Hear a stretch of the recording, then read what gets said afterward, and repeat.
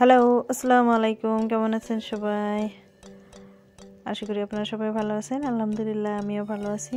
আজ আমি বানাবো কলার মোচা আর চিংড়ি মাছের সবজি। তো এখানে আমি কলার মোচাগুলো ভালো করে কেটে একটু বয়েল করে ভালো করে ধুয়ে নিয়েছি। এখানে চিংড়ি মাছগুলো কেটে নিয়েছি। তো আমি ফার্স্ট চিংড়ি মাছগুলো একটু ভেজে নিব। কড়াই বসিয়ে তেল দিয়ে দিয়েছিলাম। এবার এখানে দিয়ে দিচ্ছি আমি চিংড়ি মাছ আর একটু লবণ আর হলুদ গুঁড়ো দিয়ে হালকা একটু ভেজে নিব।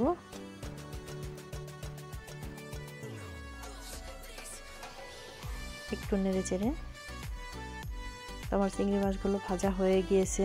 এবার এগুলোকে আমি নামিয়ে নিব।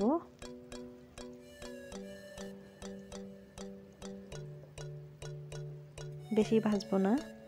যেহেতু আমি রান্না করব আবার, তো আমি নিয়েছি। এবার এখানে দিয়ে দিচ্ছি আরও একটু তেল।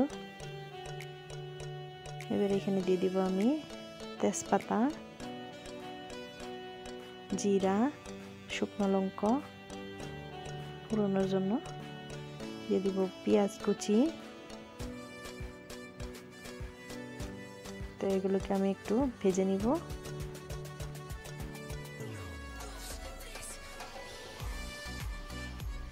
এখানে দিয়ে দিচ্ছি আমি আদা, রসুন বাটা।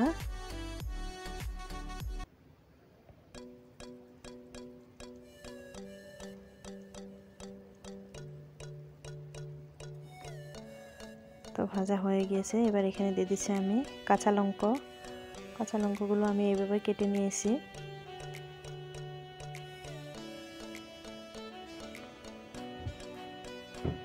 এবার এখানে দিয়ে দিব আমি কলার মোচাগুলো। আর লবণ, স্বাদ মতো। হলুদ গুঁড়ো। দিয়ে নেড়ে চেড়ে আমি ভালো করে ভেজে নিব। এখানে আমি অন্য কোনো আর মশলা দিব না।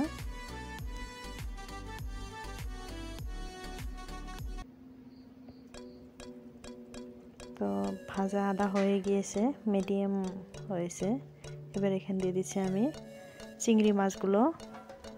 তো চিংড়ি মাছ দিয়ে আমি একটু নেড়ে চেড়ে আরও ছয় সাত মিনিট ভাজা বানাবো এটাকে।